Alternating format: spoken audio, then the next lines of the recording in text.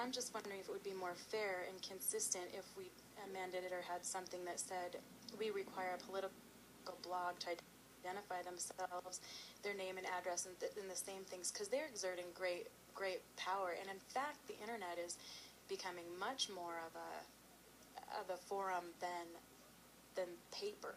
You know what I mean? As far as when we're really talking about political power and, and things here.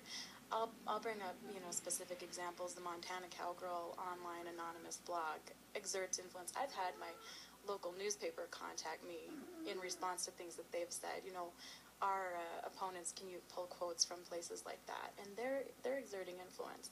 So to me, the only difference is the medium, and